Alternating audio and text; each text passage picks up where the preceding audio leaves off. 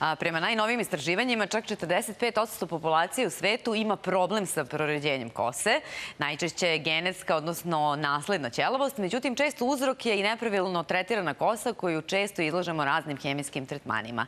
Jedino trajno rešenje ovog problema jeste transplantacija kose koja od pre nekoliko godina nije ni dug ni bolan hiruški proces. Ćelavost danas pogađa i muškarci i žene gotovo podjednako. Kod muškaraca je uglavnom razlog genetske prirode, dok kod žena taj problem mogu da izazovu različiti uslovi i poremeći u organizmu, hormonski poremeći i stres, postpoređeni period i drugo. Već nekoliko godina Goran planira da reši problem sa opadanjem kose.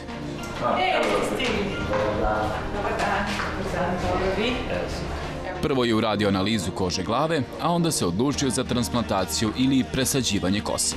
Meni je počela kosa da otpada po dolasku iz vojske jedno četiri godine. Tako nešto. I mi sad u poslednjih jedno dve godine malo više, ovo, pogotovo ovaj deo ovde, to je baš ono. I tu mi počelo malo mi smeta i ono. Tako.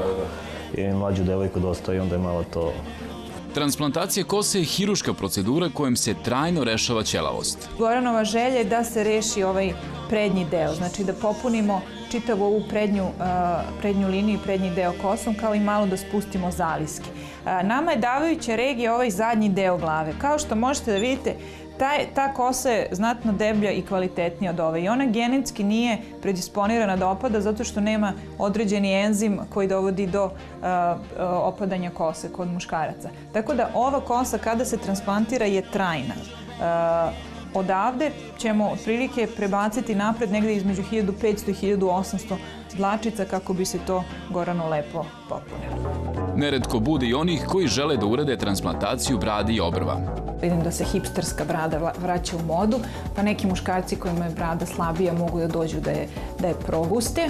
Takođe, brkovi su e, e, takođe vrlo, vrlo popularni. Međutim, kod žena izuzetan problem predstavljaju tanke obrve koje su posledica dugogodišnjeg čupanja ili nekih drugih kožnih obolenja. Goran ima predispozicije da mu u narednom periodu i dalje opada kosa, pa će posle transplantacije povremeno koristiti i praktičnu lasersku kacigu. Koristi se tri puta nedeljno u trajanju od šest meseci. Tolika je terapija, nakon toga se pravi jedna pauza pa se može nastaviti. Pre transplantacije prvo se obeležava regija na kojoj će biti usađeno zdravo tkivo dlake.